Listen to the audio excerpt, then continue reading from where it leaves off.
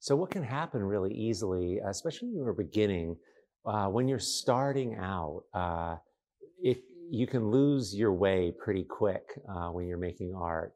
And so, I thought I'd just share a little tip uh, that I teach uh, that might be helpful for you. And I call it doing something different in different places. It's just kind of a cool thing to remember. And if you do, uh, it can it can kind of it can help a lot and it can give you um, better results quicker and easier. So check it out. If I have a picture, here's my picture. And it's blank. Ignore that. Like that stuff's not there. Just pretend that's not there. Um, and it's all white or it's all black and I, there's nothing there.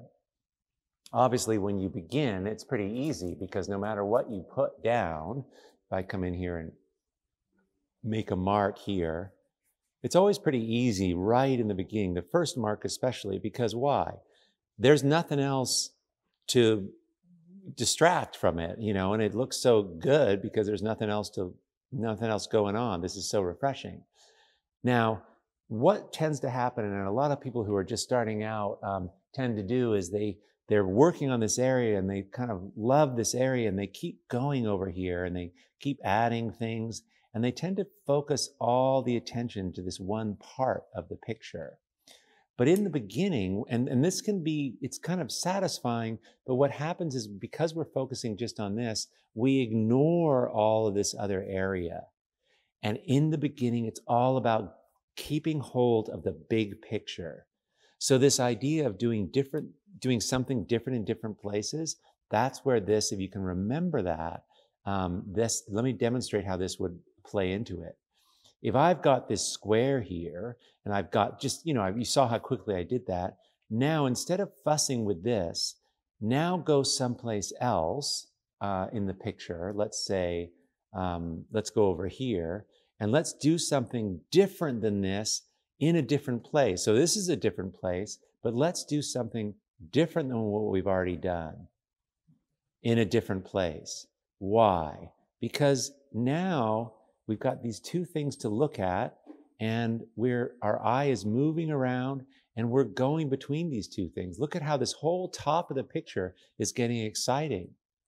Now I can keep going. Boom, just leave that. And I'm going to go over here and I'm going to take this, I'm going to do something different down here.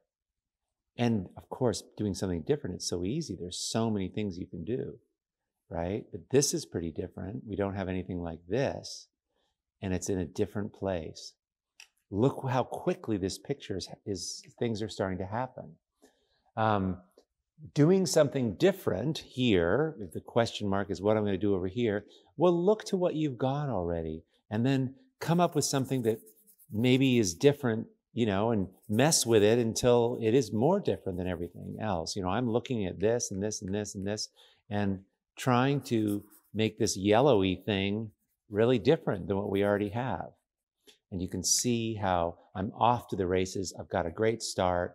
It's fun, it's quick, and I'm working on the whole picture. And I haven't even started um, finessing this and messing with it. I'm already got a picture going. So give this a shot and uh, let me know if this is helpful. All right, great.